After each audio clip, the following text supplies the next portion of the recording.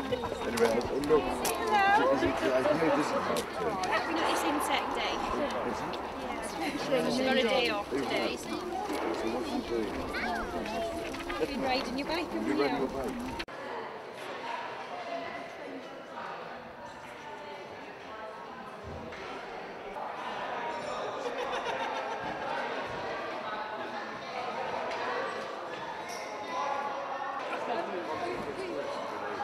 Yeah,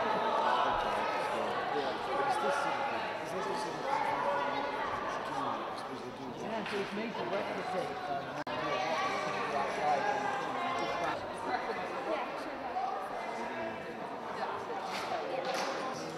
You've got a group of recruits here, basic training. Okay, on me. 10 of their filthy meat training campers they come down to us here in Brecon and conduct a multi-activity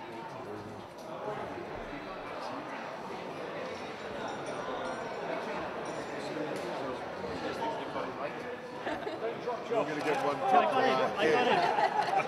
It's safe.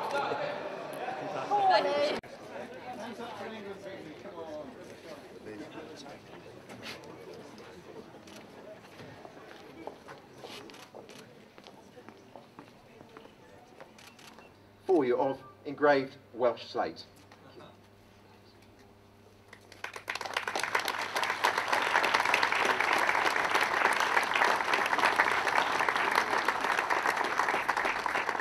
I, I just wanted to say how pleased I've, I am to have this, again, rather brief opportunity to join you and to see the results of this project here uh, in a very special valley. And if I may say so, I've, I've been enormously impressed by all the work that has gone into this and the way in which you've managed to reuse the pithead buildings and uh, at the same time uh, Rock UK has provided this remarkable series of terrifying looking climbing walls, both inside and outside. And uh, as I've got to the age where I've rather lost the head for heights, I'm very glad I didn't attempt the impossible on one of these walls. But if I may say so, I've been enormously impressed also by the ingenuity and determination of so many of the young to shin up and down these things. I'm also enormously grateful to Rock UK for letting my Prince's Trust uh, use these facilities.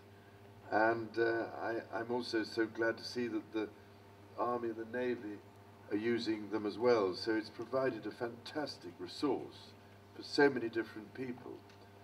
And uh, I've also heard that the quality of the cappuccino coffee in the cafe is second to none. So altogether, I'm, I'm so pleased that it's turned out to be such a success. And I can only offer my warmest congratulations to all those who have helped to make it possible.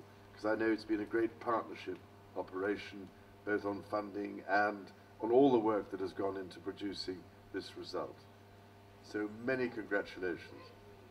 Before I unveil the plaque, I just wanted to say that I hope, I hope that Wales manages to win the match tomorrow.